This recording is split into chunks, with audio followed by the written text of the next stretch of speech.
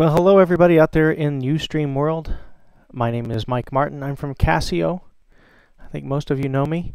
This is our first ever live Ustream event with the new Privia Pro PX5S. So this is a little bit of an experiment. Um, this event will be recorded and later moved over to YouTube as well.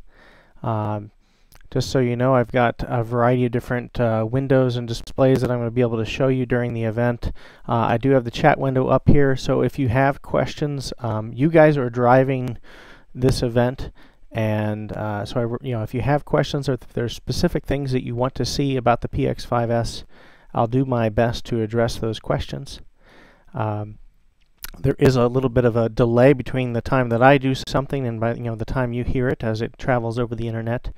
Um, but again, I'll do my best to, uh, to demonstrate the capabilities and answer your questions on this uh, remarkable instrument. So uh, looks like we've got quite a few people here on the chat. So um, I guess I'm just going to begin a little bit with uh, a general tour of the PX5S. I think many of the people we have here on the, uh, the, the group right now are already owners uh, but I'm going to just do a little bit of an overview for people that are new to the PX5S that maybe uh, just purchased one. So uh, I'm going to start with uh, over on the uh, the right hand side of the instrument we have uh, stage settings. And actually that's not the right side. This is the right, side so I've got a screenshot of that. Um, on the stage settings are kind of the the center of the instrument. That's where the instrument um, is designed to operate from. So stage settings are kind of your um, performance ready configurations that uh, you would use on stage. So um, while certain some of the stage settings are currently named things like um, you know concert grand, it's just a it's a piano piano preset. Um, you can make the name of the stage setting anything you want. Uh, could you can put your song title in there, um, and then so these are your your performance ready configurations for one sound or up to four sounds at once. So there's 100 of these. If you haven't figured out the uh, organization of the stage settings, uh, basically they're set up in, in groups so that uh, within 10 stage, within one bank, you're going to experience a little bit of everything the PX5S has to offer. Um, so if it ends in zero, you're going to have a piano sound. So number, sound number or stage setting zero zero, one zero as well as two zero, three zero, four zero. Those are all going to be piano, acoustic piano types of sounds, some with layers, some without. And as you move through the instrument, if it ends in 1, you'll find a sound that is most likely a, uh, a tine-based or electric piano kind of sound, uh, like, like this one. And all the way through the instrument, if it ends in 2, it's going to be some type of uh, reed electric piano.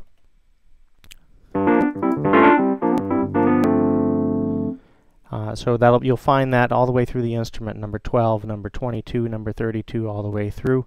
Um, category number 3, if it ends in 3, it's usually a, a synth sound, often a lead. There's about half of them are lead sounds. Others are just sort of general purpose uh, synth sounds and pads and layers.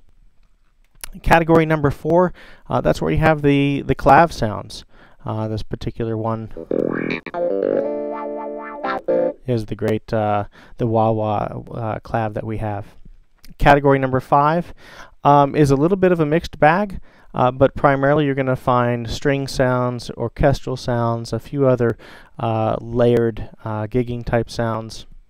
You'll also find some brass sounds in this category. Um, number six is organ sounds. Seven um, is generally speaking, these are hex layers. So it's a sound where you're going to have control using the sliders over on the left um, over all the different components. So with this particular sound, you know, we can adjust all the different layers. And we'll come back to some of those in a moment. Category number eight um, usually it is uh, an arpeggiated type of sound. So uh, just a quick one, one of my favorites. Uh, yeah.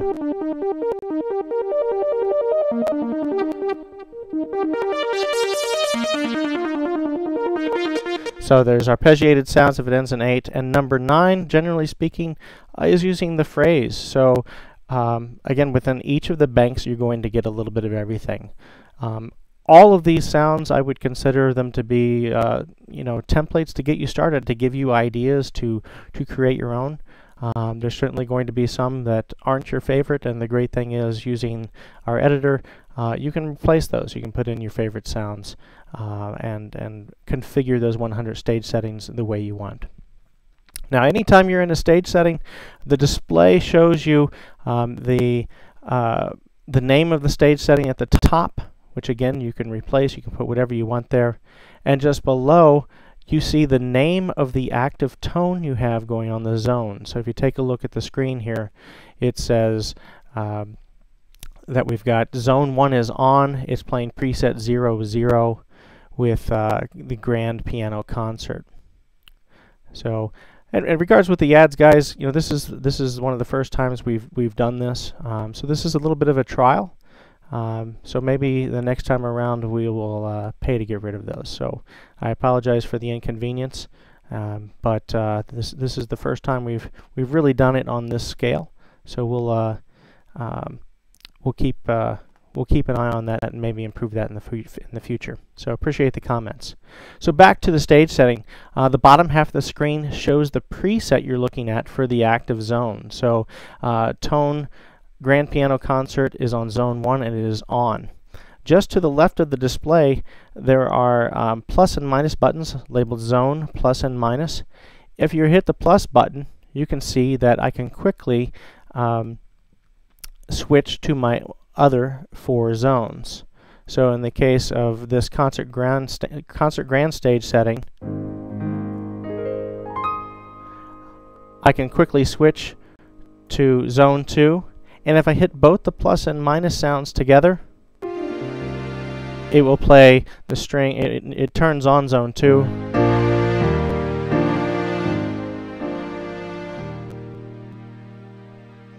So we can quickly enable another zone. So within any stage setting, you can move back and forth here and quickly create your own stage setting. If the sound listed on a particular zone is not what you're looking for, well then you can just go to the left side of the instrument and grab a tone from any of the categories. Alright, so you can grab uh, you know grab something from the electric piano category and create a layer. Um, add the electric piano along with the acoustic piano that I have on zone 1. Just grab one randomly.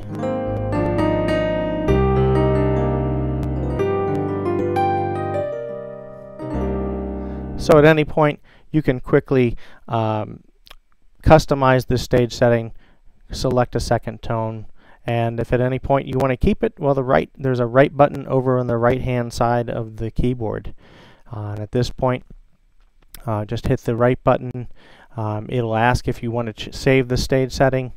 Uh, if you press the enter button, you have the opportunity to name it and choose a location for it. So just a quick thing while we're on this screen, the top right is the location number, right, which um, actually will default to 00. zero. So um, you should have in mind um, some stage settings that uh, you don't want to keep and uh, uh, choose a location where you might want to store this new layer that you've created no worries though if you actually uh, were to accidentally delete something that is existing. Um, all of the, the factory stage settings are available for download online um, at CasioMusicForums.com. Um, all 100 stage settings are available there. So um, just dial in your location number, use the cursor down key. I'm using knob 2 by the way. Knob 2 allows me to move through, um, choose any character that I want. Um, dial in, I guess I should look at uh, the front panel instead of my camera. It'd be a little bit easier. So I can put in something here that says uh, Joe's piano or something, since Joe's watching.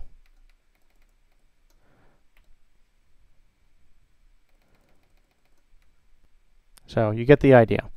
Um, so use the um, knob 2 as data entry Knob 1 will actually move you around through parameters. Um, and now you can save this new stage setting, which I'm going to skip at the moment. So that's just a you know a very brief overview of, of stage settings. Uh, showed you how to to turn on a layer. Um, showed you how to do a quick save. So far, no questions from you guys. Like I said at the beginning, what uh, you guys put in the chat window there will determine a little bit of the content, um, but otherwise I will keep going with a few, um, some of the common questions that, that come up. So another question that comes up often is how to do a split. Um, so first of all, um, the we've already configured a number of, of stage settings that have splits for you. So as um, as a starting point, go to bank 6. So on the right hand side of the instrument in stage settings, there's a button labeled bank. Press number 6 and then everything here in bank 6 is then one button press away. Most of which, uh, but more than about three quarters of which are splits. Uh, so we have uh, an electric bass um, and electric piano.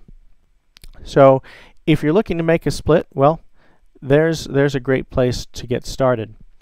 Um, if you want to make some changes to this split, I'm going to take you through some quick uh, zone editing here. So um, in the stage setting, if I hit the edit button, we're going to go into our zone edits, which is part of this stage setting. We're not editing an individual sound. Um, and now we're going to edit the zone. So for zone 1, uh, if I go into the mixer edit view, I can see that I've got uh, the bass sound. If I scroll down, now we can see um, the the key range for this uh, for this bass sound. You see the low it the low note or low range is set at the lowest um, note possible, and the high note uh, is set at E3, which is um, mm -hmm. the E um, just below middle C. Now, if you'd like to make uh, a change to that, there's a couple different ways to change the split point. Um, you can use the up and down arrow buttons dial in um, uh, your, your split point one at a time. Uh, you can use knob 2 again, that's your data entry, and dial in um, a split point that way. You can also, over on the far right hand side, um, that um, above, right above the edit button, there's a button labeled num key. Uh, that has a couple different uses throughout the instrument. But if you press that button one time, then you can just strike a key on the instrument and it will choose um, it'll select that key that you want to use for that split point. Now that I've made it a, just a, a one note change here in my uh, range of zone 1, I can use again those zone plus and minus buttons to the left of this, the screen and switch to zone 2 and I can make a change to zone 2 and move it down to the E flat right above the D. So there's my electric piano, below is my bass. So um, that's a, a, quick way to make an adjustment to a split. Um, one, you know, a lot of people have asked that. There isn't a dedicated split button on this product because, well, it it's much more flexible than an instrument that just does a sound on the top and a sound on the bottom. There aren't any rules with the four zones.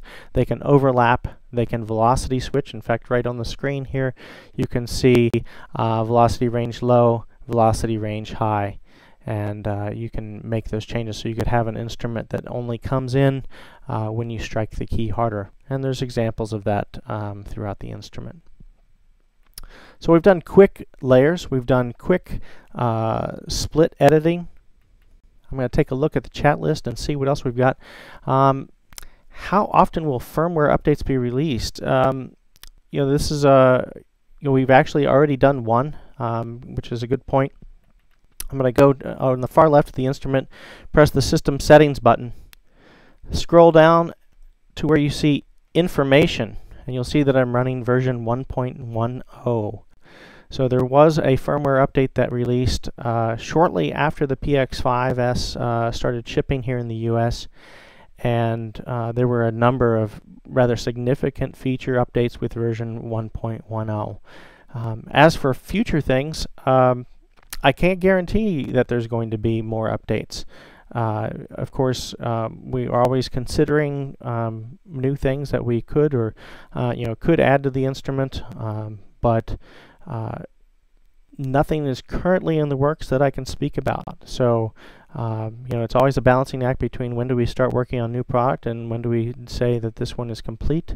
Um, I've got my fingers crossed for a few things, and honestly, as soon as um, there's information about an update, uh, if there's going to be one, you'll hear about it on you know Casio Music forums or on the Facebook users group. Uh, we were very uh, pretty vocal about uh, version 1.10 when that came out and uh, when to expect it. So version 1.1, if you haven't installed it, there is a tutorial video on YouTube. So if you uh, search for PX5S uh, firmware update, you'll find it a, a great YouTube video that takes you step by step through the process of uh, installing the firmware update and um, a lot of improvements. Um, a few of the big things that happened with the update, just to mention quickly, with things like um, organ sounds.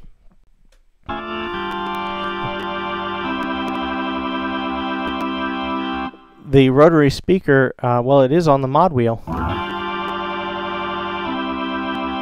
It's also on the foot switch. So foot switch 1 um, controls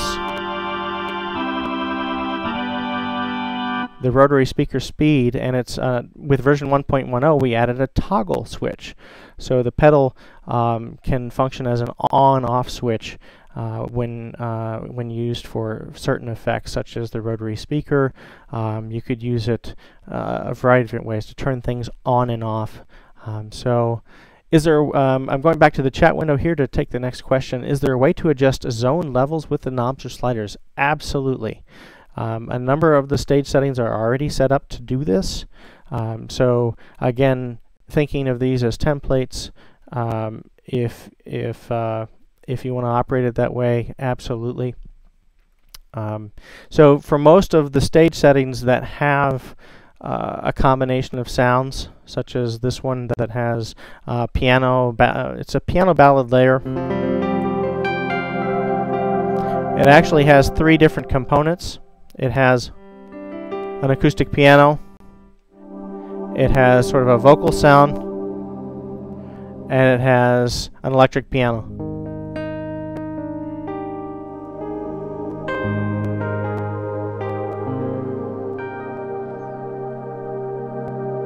So in this particular example, I've got three different sounds on three different zones and my first three sliders over here on the left um, are controlling the, the relative volume of each of those. So there's a lot of examples like that in the machine. Uh, here's another uh, where again the sliders are controlling. In this case slider 1 is the string. Slider 2 is the vocal sound. Um, so I've got independent control over all of those.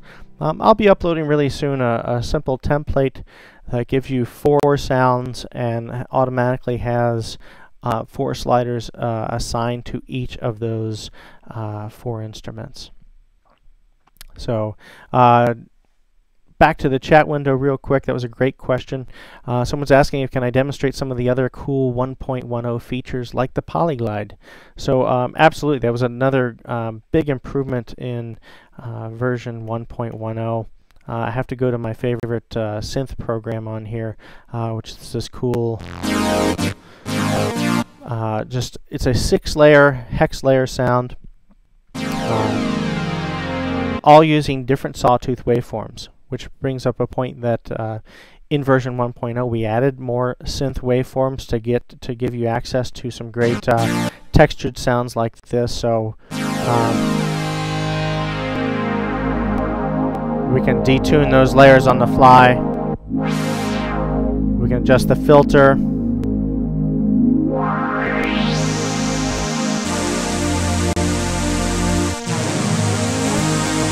And we also have portamento. So um, it is assigned to pedal 2 um, throughout the instrument. Uh, when we did the version 1.10 update, you'll find that many of the stage settings do respond to the second pedal. And in this case, the second pedal turns on and off the portamento. So you'll find other sounds where um, it, the pedal automatically does a swell or something like that. So um, yeah, Portamento is one of one of my favorite uh, new features for for creating textured sounds, uh, giving some additional life to um, to the instrument. All right, looking back at the U at the UStream chat here, um, is the music rest slot hidden under the blue plastic strip? um, I haven't peeled mine off to find out, and uh, I, I wouldn't recommend that you do, but um, you know there isn't a music rest on the PX uh, 5S. It's been a, a, long talked about thing. Um, but no, I'm not going to uh, deface my, my PX5S to find out. Um, there probably is, to be honest, but uh, uh, good luck. You can probably buy a new music stand or a music stand for a PX350 from our Casio parts department.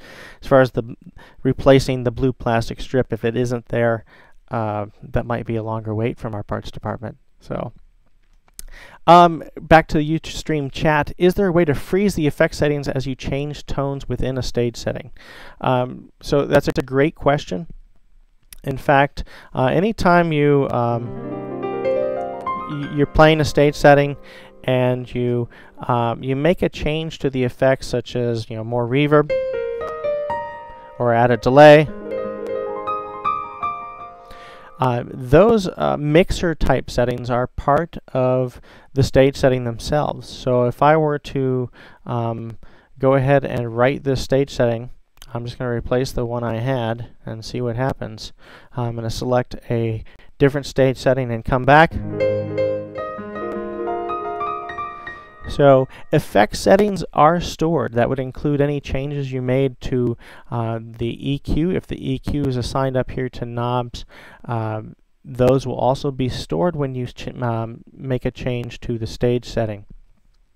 If it is something else such as a filter, um, so let's go back to that synth sound real quick because it's real easy for us to hear. So if I were to make a change, and I've, I've closed the filter almost all the way and I hit the write button and, and replace this stage setting. What you're going to find is we did not uh, we did not make it we didn't store that change with the filter because we didn't actually edit the sound. We just manipulated that sound in real time. Um, so if you want to uh, if, if you're moving the sliders and you come up with a, a, a setting that you like, um, you kind of need to go in and edit that tone and, and recreate that um, those settings um, and then store it. And that way um, that the, the filter changes will be stored along with the stage setting. So, all right, taking a quick look at uh, the Ustream chat. Keep the comments coming, I appreciate it. Ah, so there was a question about USB to keyboard. Um, so uh, important question here. We have a lot of sounds for download over on um, the Casio music forums. There's a great uh, database section there for uh, additional presets, stage settings, tones, those kinds of things.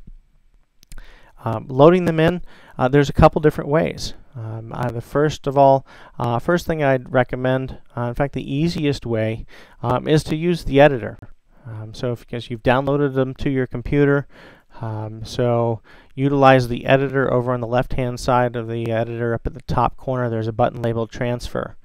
Um, so on the left hand side I have got presets that are on my computer. On the right hand side I have presets that are currently, the stage settings that are currently in the PX5S. So if I wanted to um, take a stage setting that I've downloaded and, and load it in here, uh, let's say I want to replace number 87 with, uh, well, I'll just grab one. This transgate sound. Uh, all I do is drag it over and it's loaded into the instrument. And it asks me, it does confirm if I want to do that. Um, so uh, I've now Uh, if you take a look back at the screen on the front panel, it shows that the Transgate sound is now loaded into that location. So the editor is absolutely the easiest way, but of course you can load things in um, from the USB drive. So over on the right hand side, um, there is a USB port. Plug in your USB drive, press and hold the button labeled media, and that will pull up um, your option to, to load things. Um, so I can load a stage setting or I can load individual objects such as tones. So if I were to load a tone, um, there's a couple things that happen. So first of all, uh, if you look at the screen, it's showing me, in this case, uh, an Air 60s piano. So it's probably a Wurlitzer type sound. It's asking me where I'd like to load it. Um, and I can also scroll through and see all the other different instruments or tone presets that I have on here. So there's one, an early version of, uh, I guess probably a Bloody Well Right preset. Um, I have to use the, the category tone buttons on the to the left of the display to load those sounds into the proper location. So it requires a little bit of organization on your part. So for example, if I try to load this Air 60s electric piano um, into the string category and I press enter, um, let's see what happens. Wow, it went in there. Didn't expect it to, so I just learned something. Hang on one moment. That was totally unexpected.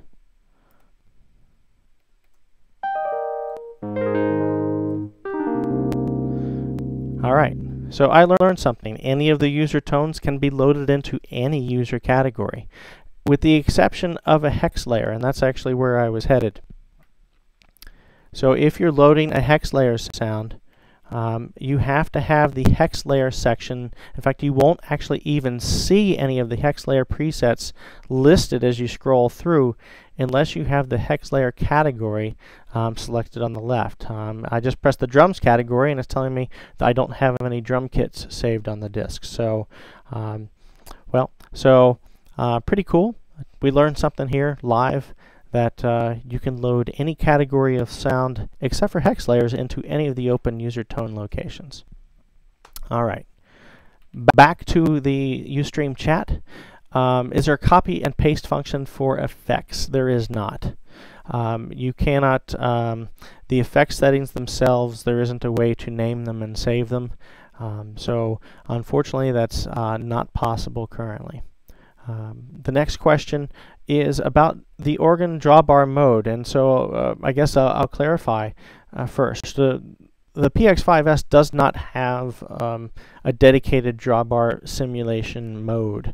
Um, you know, one of the things they uh, they did add with the PX5S are some you know some great new um, um, rotary effects.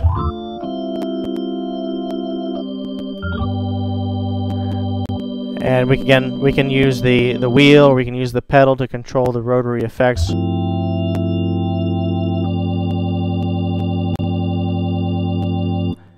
And there's also other controls available, such as uh, overdrive and vibrato chorus. Now, when we were developing the presets, we realized that while the hex layer mode um, could be used using the sliders and the multiple layers that a hex layer sound has, to, to create a pretty convincing um, drawbar mode, although you can't, um, uh, we only have six sliders, and of course our Hammond organ has nine sliders. So uh, we did do a couple things when creating these presets that's pretty cool. So um, you'll see on the screen when I move the first slider, and I'll change my view here. When I move the first slider, it's controlling the levels of two layers simultaneously. Um, so we're actually representing fold back accurately. Okay, and as you move up to the next layer, so here's a preset. We've uh, we've got multiple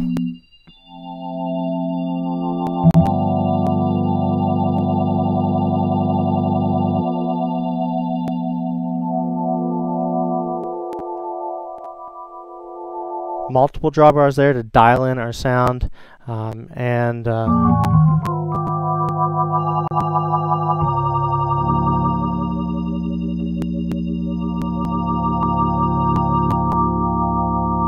you, know, you can manipulate those on the fly so it's pretty cool. Um, the pedal doesn't have to be set up to, to activate the rotating speaker with, again, version 1.10 to answer the question online. Um, all of the stage settings were programmed, all the organ stage settings were programmed to function where the sustain pedal um, does not, in fact, sustain. Um, it's, it functions as the rotating speaker speed switch. And um, so uh, I think uh, that's a, a, welcome change in the new presets. Uh, with this particular preset, you can also hear that, uh, you know, we've got uh, vibrato chorus,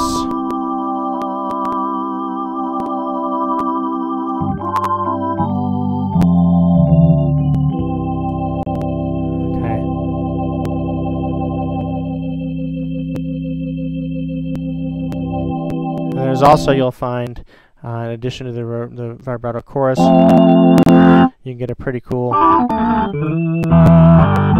nice overdriven organ sound in there as well. So um, a lot of variety from just one um, one organ patch on here.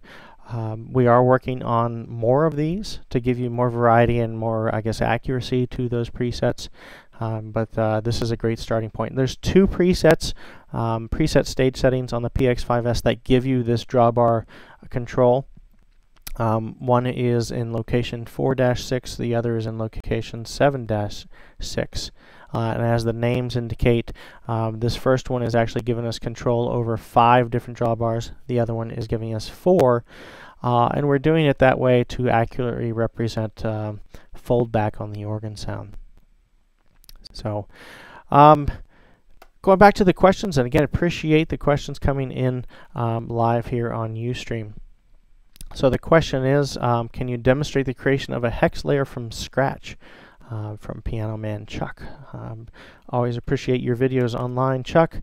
Um, so yeah, absolutely. Um, hex layers are one of my um, favorite favorite um, uh, aspects of the instrument because that's the the hex layer section of the instrument is really the the synth side of the product where we can really manipulate um, in great detail uh, each of the components that make up the sound.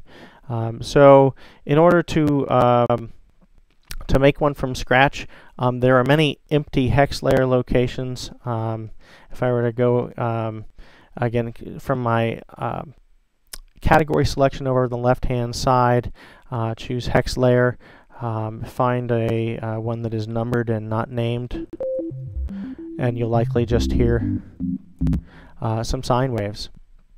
So uh, if we were to edit that sound, uh, just hit the edit button on the right hand side, select tone. Uh, this is where you get into, as it says right on the top of the screen, hex edit. And there's a lot of stuff in here. Um, and um, as the name suggests, a hex layer sound is made up of up to six components. And so each of those components are considered layers. Uh, so if I enter on that screen, we can now see we're looking at layer one. It's turned on and we have a, a basic sine wave selected. There are a ton of waveforms to choose from. Uh, if I spin the wheel all the way to the left, all the way, and then all the way back to the right, you'll see that there's 439 different waveform selections available.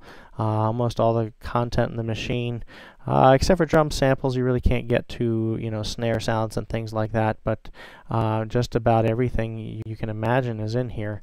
Um, so. Um, I'll grab some of the, the you know the the new waveforms. Here's just a basic you know basic sawtooth sound that I've, I've turned on layer 1. If I want to add another layer to that, um, again to the left of the display there's that zone part um, plus and minus buttons that we talked about earlier. You can go to the next zone and turn it on and then dial in another waveform. So um, you know again so much content to choose from. Uh, choose something different and now I've got uh, a basic stack. All right, so um, so let's just, I'm just going to check something here. So the stage setting I started at already had a few things already lined up, um, including filter control and layer detuning. So if you're going to make a hex layer sound, you know, my, my first advice is well to start start with a stage setting that uses one and, and work your way from there. Um, um, and so we can get in here and continue to you know manipulate um, this stage setting a bit. Uh, my envelopes, we have envelopes in the filter section, we have envelopes in the amp section. Um, if I want to make maybe a pad sound, we can go in and you know adjust the attack time. Now if you look at the top of the screen, one thing you'll notice is that hey, I'm, I'm, I'm back looking at layer 1. Um, I can switch back and forth easily between layers 1 and 2 and uh, you know I can make them slightly different to maybe give the sound a little uh, more depth or variety. Um, but if I scroll left you'll see on the screen I'm now editing all the layers simultaneously. So um, if I put in a value of let's say 101 um, and now I go and look at each of the layers you'll see that I now have a nice slow attack of 101 uh, which I'm not hearing. Let's turn that up. I'm not hearing it at all, so what am I doing wrong? Just a moment.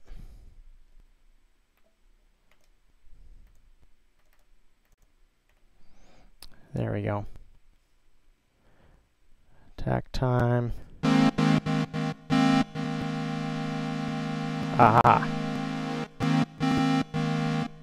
So one of the changes I didn't make was reducing the initial level down to zero. And let's turn, there we go. So now I've got a very cool um, fade in on this sound, and then I can go to my release section and add a nice long fade out to all of my layers.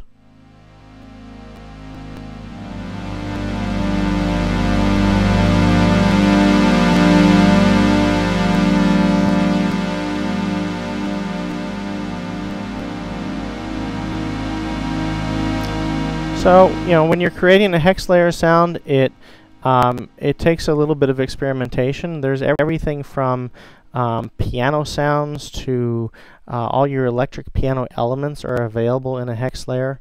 Um, I just uh, wiped out the changes I was just working on. Um, so you can actually get in here and you can see um, all of the individual um, components that make up our piano sound are available. Including little attack noises, um, the electric pianos with, again, all kinds of clicks and pops and uh, little idiosyncrasies that those instruments make. So you can you have access to each of those elements. So if you needed to make something such as a key off sound, um, you have access to that stuff.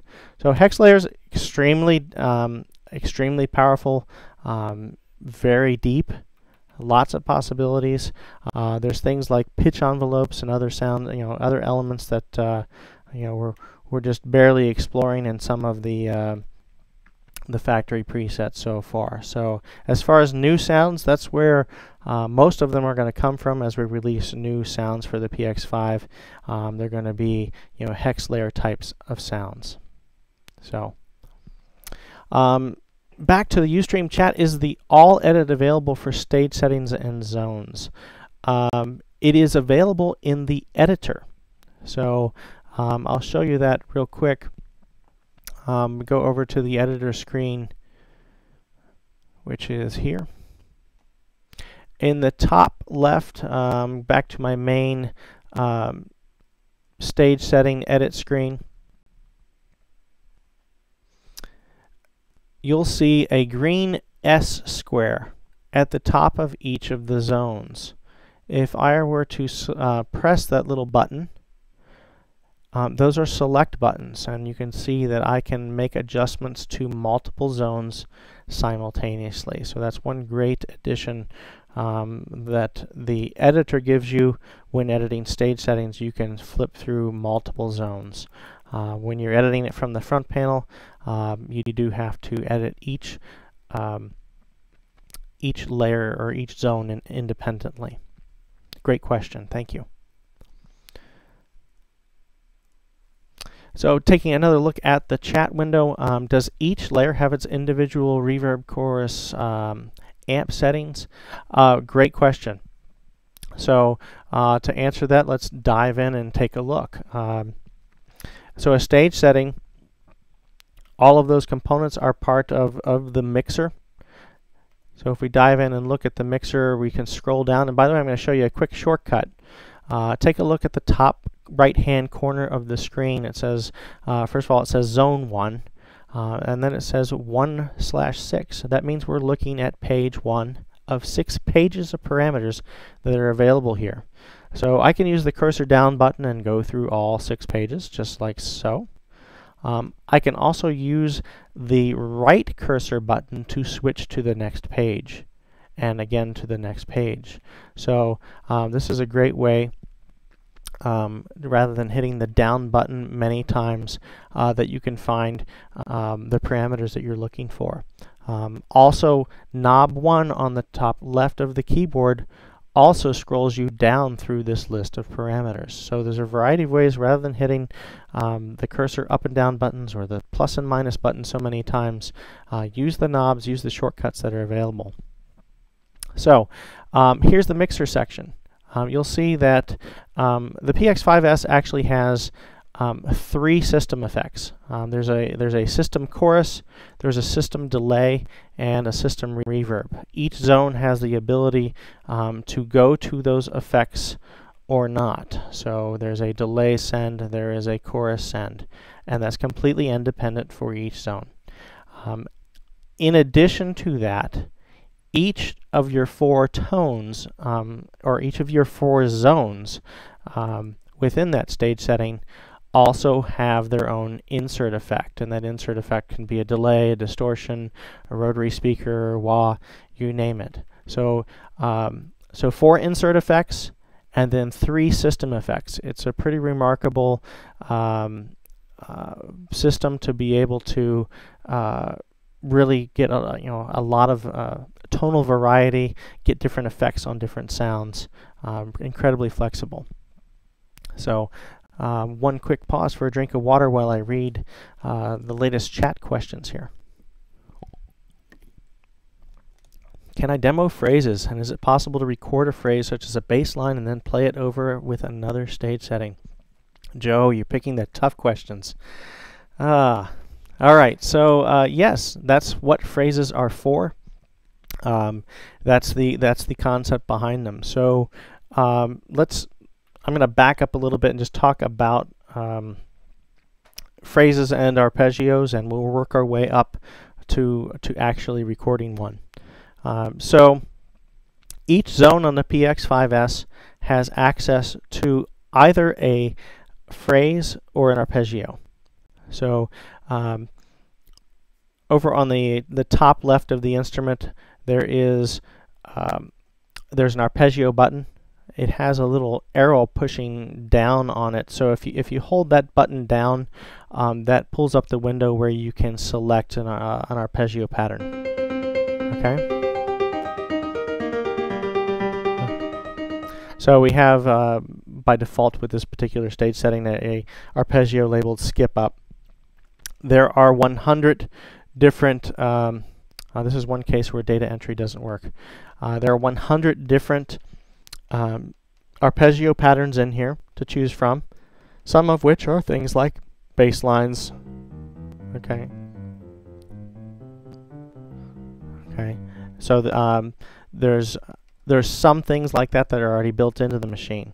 If I cursor up, however, um, I can choose instead of an arpeggio, I can choose a phrase.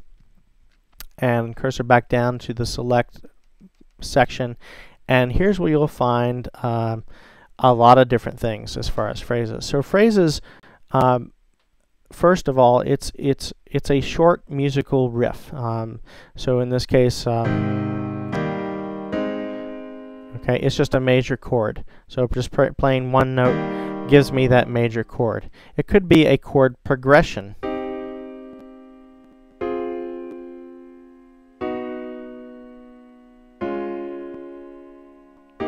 So this one is just a, sh a short uh, chord progression uh, that will go through as I hold that note down, and the phrases will transpose. Okay. Yeah. You know, to to any key, it just follows you. Now, um, to create your own. There's uh, this is actually one of the areas that uh, admittedly is is a little bit confusing so I'm gonna do my best to to take you through it um, so uh, on the front left of the keyboard I don't have a camera that really covers that that area really well. You got a screenshot of the front left uh, there's a button labeled phrase. So um, if I were to um, press and hold the phrase button uh, we get a window that looks like this, phrase record. Okay, so I have the opportunity to uh, record a new phrase or overdub one of the existing ones. Um, we have the opportunity here to um, to do quantizing on input or not.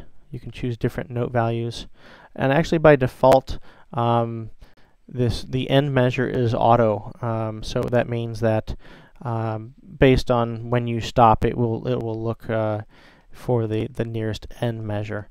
Um, you can you can specify, hey, this is going to be an eight measure phrase. You know, even if I don't play anything in the eighth measure. So maybe if you want something that is going to to loop smoothly, uh, you might want to keep this end measure um, aspect in mind. I see the color of my walls adjusting from a screensaver. Okay. Sorry, I got distracted there. Um, so um, once you've chosen um, how many measures you'd like to to do, um, all you need to do uh, is is is simply hit the phrase button again. Oh, sorry, I made a mistake here. All right, so I um, you actually hit the phrase button two times to get in record.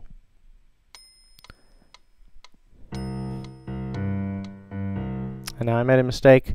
Um, so in the system settings, there is a parameter here for phrase recording where you can turn your pre-count on. All right, so that will give me one measure count in um, for my uh, phrase.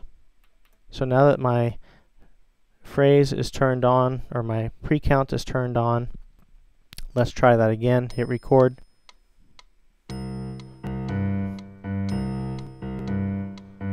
Okay, so I've recorded a simple phrase. Um, I guess I had classical phrase number 73 selected the last time I, um, I did this. Um, if I want to save that recording, um, the process works the same. I can go down here and, and name it anything that I want. So I've recorded just a basic, um, you know, bass line kind of thing. So We'll save this. We'll just call it demo. Oops. Demo phrase. I should have left the P in there. So it's demo phrase 1. And I'm going to save it to number 100. So if you know if I just hit the start button, you know we'll we'll hear that incredible bass line that I just recorded. Um, now, if I want to use this in a stage setting, um, again my my arpeggio uh, switch has to be on. And I need to have that that particular phrase selected and I keep reaching for um, knob 2. Um, I did use the number key button on the far right uh, and typed in phrase 100.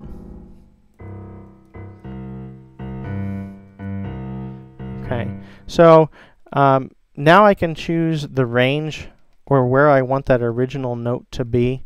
Um, so if if I choose it as my original note C3,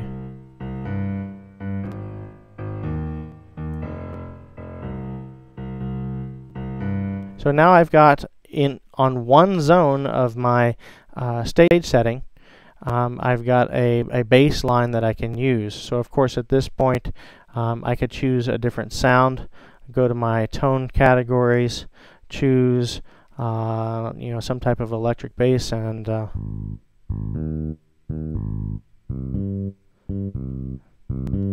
and now I've just got this looping phrase.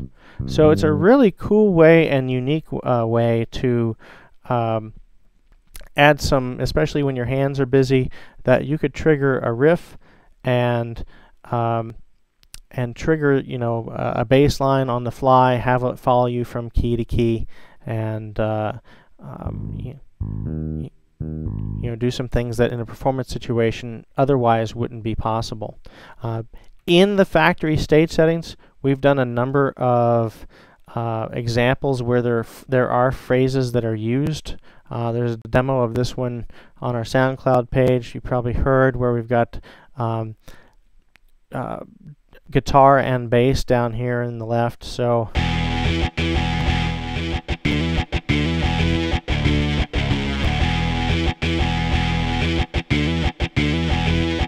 So that's a phrase. Um, it's actually a phrase. Let's see what it's called here. Uh, it was actually just a slap bass line that when I put a different sound on it, sounded cool. Uh, added some guitar, and now I've got you know this cool.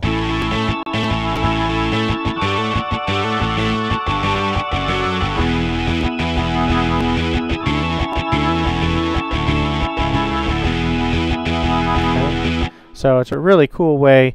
Uh, phrases can be useful for all kinds of sonic elements, uh, be it bass lines, that's most obvious. Uh, there are also examples where phrases are triggering uh, basic drum patterns. Uh, one last quick thing here on um, phrases is that uh, you don't have to create them on your own using the editor.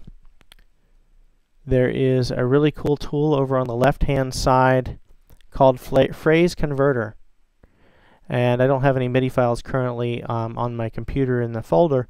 Um, but this is a utility that lets you choose from a from a standard MIDI file that maybe you've downloaded from the web.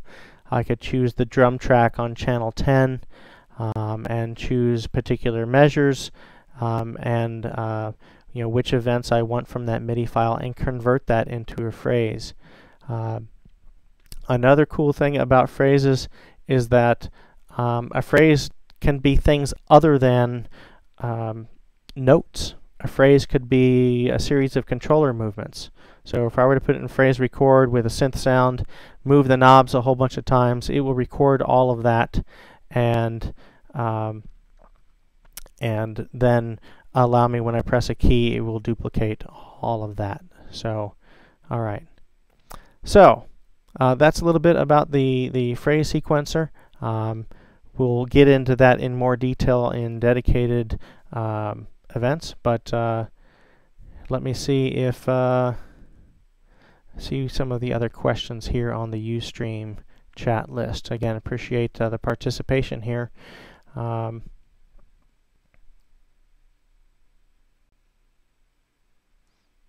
ah, Steve LeBlanc is using phrases, and that's good to know. There we go.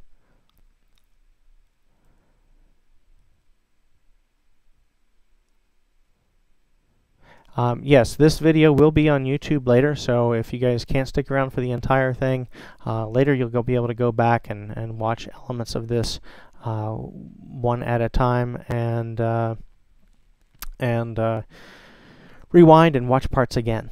Uh, so there's a question about Setlist Maker. we got a lot of attention with that at, at NAMM when we introduced the PX5S. It is a um, uh, an iPad application that allows you to send MIDI, MIDI you know, program changes and events over to the PX5S uh, to select, and we used it to select stage settings live. So it's a great way to see a list of, of all the stage settings um, or song titles. It's really what it's designed for. You put your song titles, your, your chord changes, and things like that in there, um, and you can um, select them from a list. So um, as far as the operation of it, uh, I'm not going to get into the operation of the iPad application. Uh, it isn't a Casio product. Um, we'll probably address that in um, you know a future. I actually don't even have my iPad here with me at the moment. So um, maybe we'll address that in a future video. It's a great application and it adds a ton of functionality to the PX5S as far as uh, being able to see all of the contents on a list and quickly navigate through all of those. So uh, we'll get that hooked up and use the setlist maker in a in a future video. So do appreciate uh, the question, Greg. We will address that uh, in a future video. All right, so uh, taking a quick look, and I'm going to uh, take another look at the questions. So I don't see anything, any questions at the moment. Some of you guys just commenting about different things. Um, I'm going to take a moment and just demonstrate some of the other elements of uh, the stage settings that maybe you're not aware of. Uh, one things I would recommend when you um, when you get a PX5S, if you have an opportunity to try one, if you haven't tried one yet, um, is you know go through those stage settings on the right hand side of the instrument, and you know first of all, you know use use those sliders, use those knobs, and um, see what happens. And you know one of the things that's really amazing about the PX5S is how much variety you can get out of a a single sound. So um, as an example.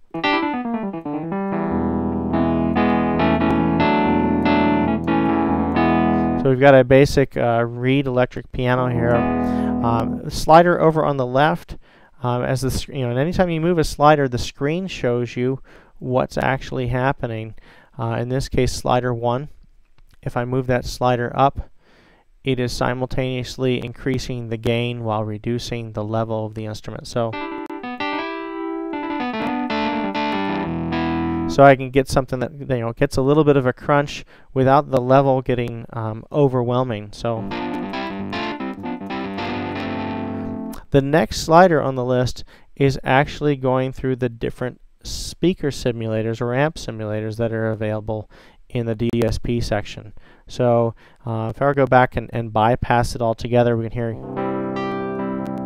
we've got a you know a nice uh, rich clean Wurlitzer type sound. But then I can get in and adjust different um, speaker and amplifier combinations.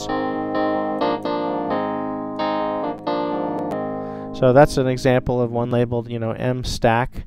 Um, you can just guess what that means.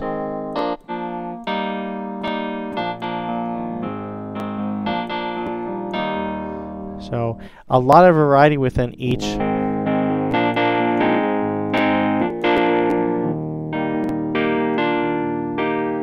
with each of these. So um, do use the do, do, use those sliders and knobs. In this particular preset, um, you'll find some that that do have key off noises assigned to a slider. So uh, if you take a look at the screen, it says key up reed 3 or key, key up reed S3. So what we're saying is use this slider labeled S3, slider 3. Um, and that'll control how much of the, the key off noise that you're hearing with this Reed electric piano. Um, there's a, a tine-based electric piano right next to it that has the same the same kind of idea.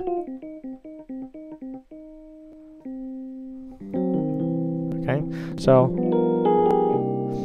a lot of variety with each of these stage settings from speaker simulators to the key off noises um, and other tone and EQ control. You can really manipulate um, uh, the uh, stage settings quite a bit. Uh, so great question coming up here on the Ustream chat is what is the, where's the best place to set the master level of a stage setting? Um, uh, you've been using the compressor output level, but you're not sure that's the best approach. So great, great question. Thanks for asking. So um, so there are two mas two master effects on the PX5S. Uh, one is the the master EQ. One is the master compressor. Um, these are um, two effects that are on the, the, the final output stage of the PX5S. So if we were to take, if we were to just press the master button here on the left, uh, we can see both of these. There's a compressor and there is an EQ. So um, by default, uh, on the PX5S, the compressor is actually, um, it's not active for any stage setting. It's not active unless you make uh, a physical change to that.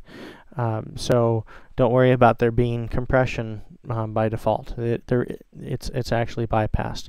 Um, however, um, the compressor is current is by default set to be global throughout the instrument. And by global, I mean, um, well, let's take a look at, um, we have in here in system settings, something called a stage setting filter. So I went to the system settings section on the left hand side of the product, went to general and then something called stage set filter. And here you'll find that most of these things are turned off. Um, tempo changes, things like uh, system effects like chorus and delays. So if one of these things is turned on, so if I turn the chorus stage setting filter on, that means that um, the um, chorus will actually never change um, as you switch stage settings. Okay, so whatever chorus depth you've set um, and all the parameters associated with that chorus uh, essentially become global. Uh, they'll never they'll never switch. Um, same with the delay um, stage setting filter or the reverb stage setting filter. Um, the EQ stage setting filter is off as well, and that means you can you can dial in that, that master EQ for each of your stage settings and control it and preset it different ways for each of those stage settings. The compressor, however, is set um, by default to on.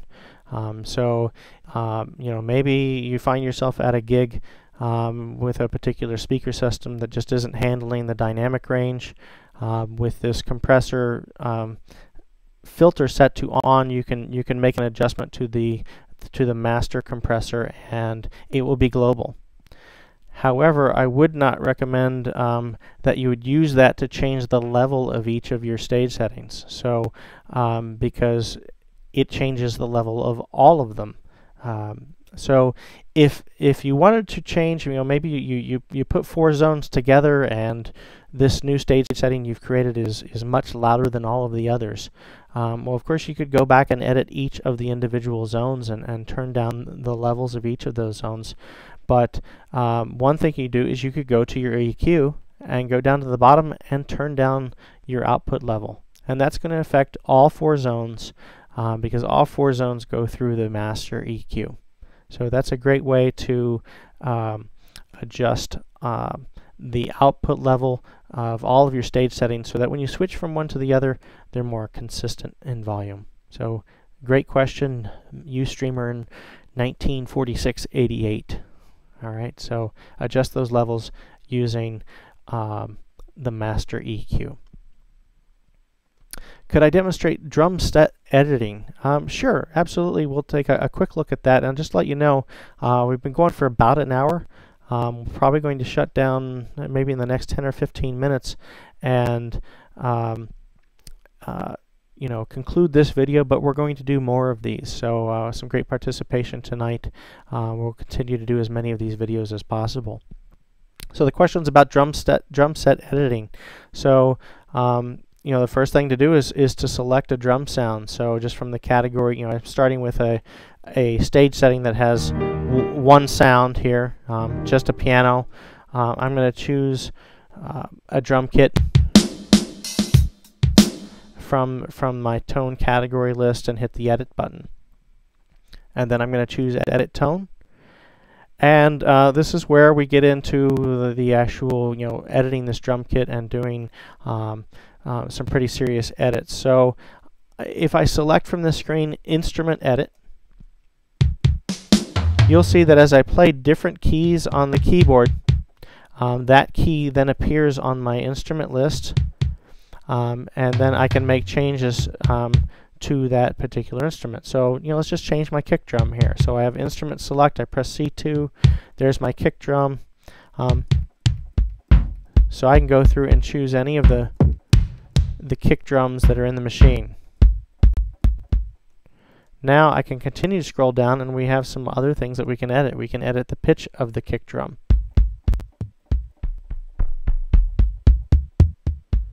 Um, there's fine tuning as well. Um, we also have um, some amplitude, you know, some attack controls, which allow us to adjust a little bit of the uh, of the. Uh, oh, I'm sorry. I'm in the. Um, it actually has a pitch envelope. So this is a cool thing. We can we can make a we can actually have the pitch of this change over time. So a lot of cool, you know, pitch editing. Um, if we go through, there's an amp section as well. Actually, I'm going to go to the filter section. Um, we can adjust the resonance of this kick.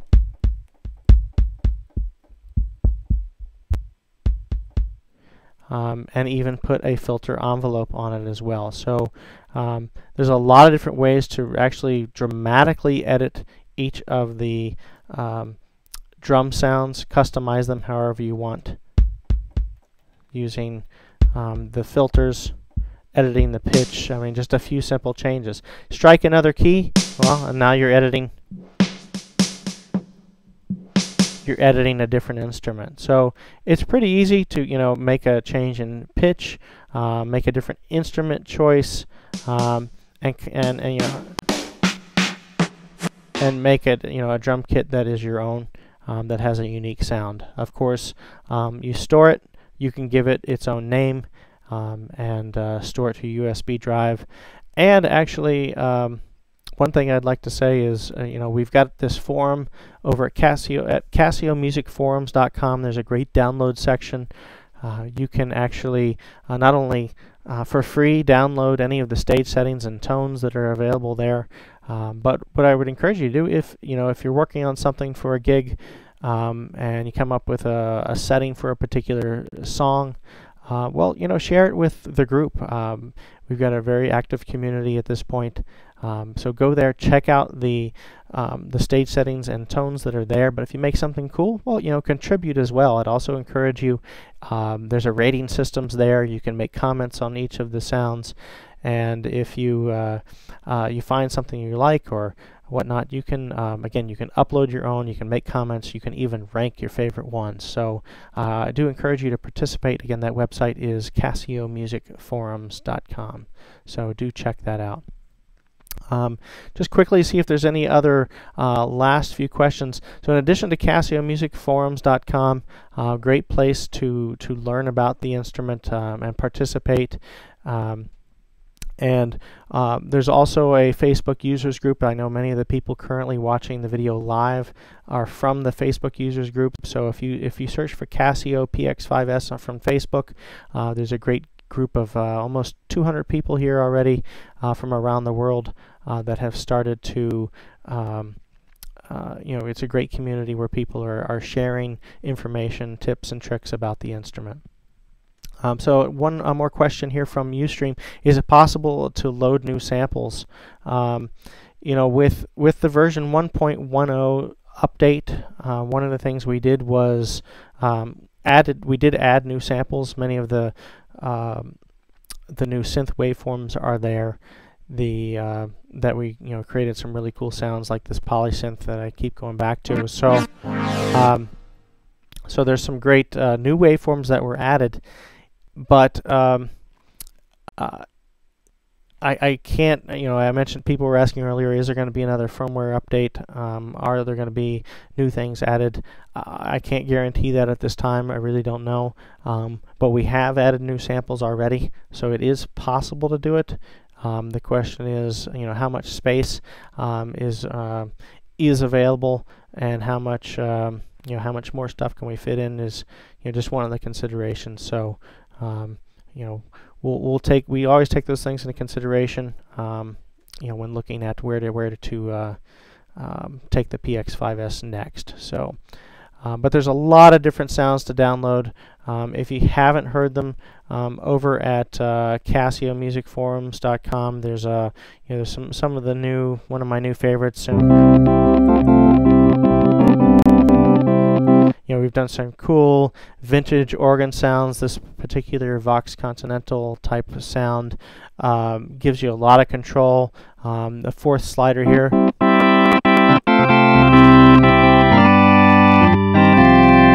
You know, we can do some cool, uh, cool doors covers and things like that with this great organ sound like that.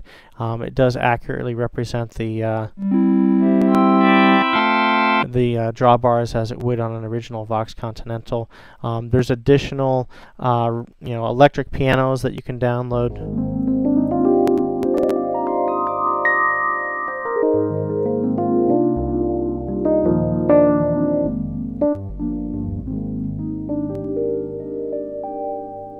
So, a lot of cool different presets.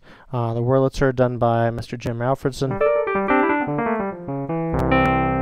So some really cool uh, additional presets that continue to expand the capabilities of, of the product.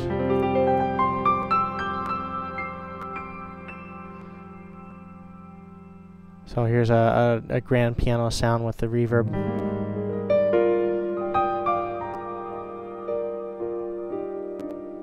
So there's additional piano presets up there as well. Um, and uh, so do check those out. There are some uh, piano sounds that have different responses that play a little bit differently. Um, sometimes keyboard players are um, frankly a little timid. So um, if you're not finding that the uh, um, piano sounds are are jiving with with the way you play, there's a couple different things that you can do.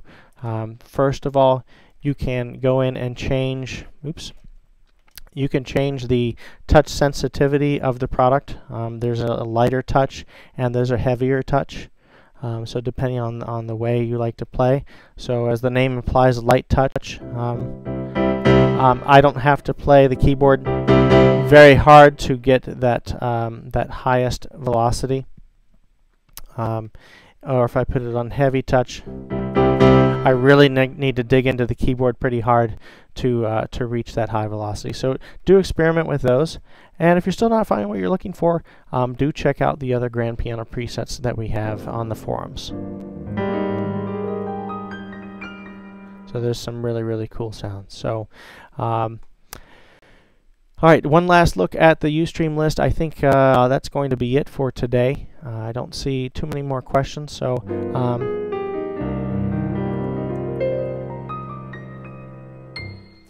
So again, I really appreciate uh, everyone's time here today.